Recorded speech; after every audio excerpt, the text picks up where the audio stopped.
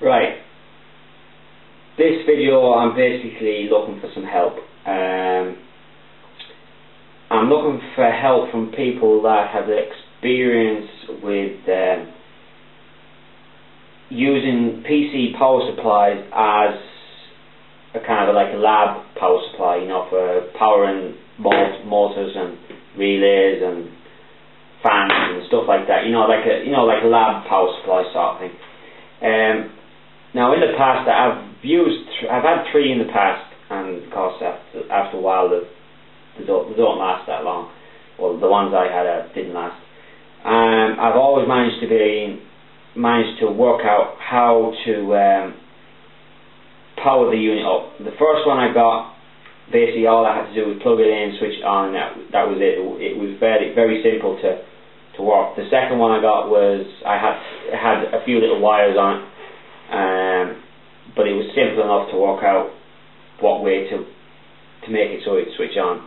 The third one I got was this one, which is fried. Um, it, was, it took me a bit of time to work it out, but I managed to work it out. Lucky enough, there was only four wires to work with. There was a purple one, um, a blue and a green, and a brown.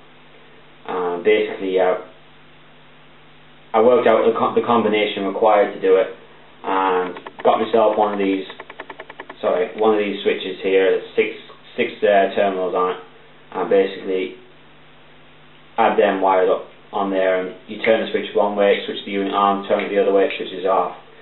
And that worked grand. This one I've got is a new one. Now I know the power supply when it was in the PC it worked perfect. The computer works fine. I have the computer down beside me but I was going to do up do, do up the computer, but basically I needed a power supply, so I thought, fuck it, I can get a new power supply for when I when I do get round to doing the computer up. So I thought, fuck it, I'll take this power supply out and I'll use it because I want to. I've got a laser there. I want to power power by something like like with one of these.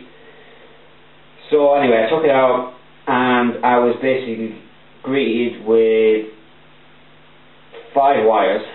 Um, the, some of the wires are the same colour as what was on the other one. Um, one of them, the purple wire is actually a thicker wire than the one that is on that side. Uh, the brown wire was actually connected to the, an orange cable, which I know is the 3.3 volt output, which you know there's numerous of 3.3 volts on the uh, PC power supplies. I also had a blue wire and a green wire.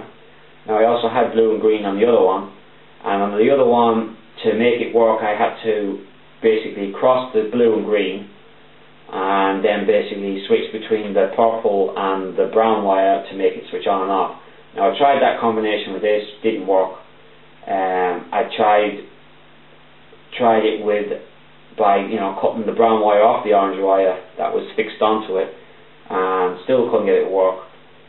Um, basically all I've managed to be able to do with it so far is basically I'll demonstrate now is if I connect, I think it's the green one, to, uh, yeah, I think it's the green one. Oh, this thing, no, I haven't this thing switched on. If I switch, if I connect the green one to the orange and brown one, which it powers the three different voltages, the uh, 12 volt, the 5 volt, and the 3 volt because these are, you know, so they're all powered. The 5 volt isn't powering properly because it's, it kind of stop start, stop start. As you can hear, the 12 volt side is doing the same and the 3 volt side is kind of stop start. If I was to connect the purple wire to the brown and orange, I, the 3 volt side is working perfect, the 5 volt side is working perfect, but the 12 volt side is not working at all. Um, I've tried so many combinations of these wires. I've had it so it's clicking really fast. Um, I've, I think this one one's. See, the 12 volt works there. It goes on and it goes off straight away. Um, which combination was it? I think I had the brown, the grey with the brown. Ah, yeah, that was it. There's another combination there. That's green, orange, brown and grey and if I was to touch touch the blue onto them it would switch the switch switch it all off. No actually the wires came off. Uh, basically I, I cannot work this one out. Um, maybe it's the style of the unit, maybe it only puts out pulses of power, it's not a continuous feed.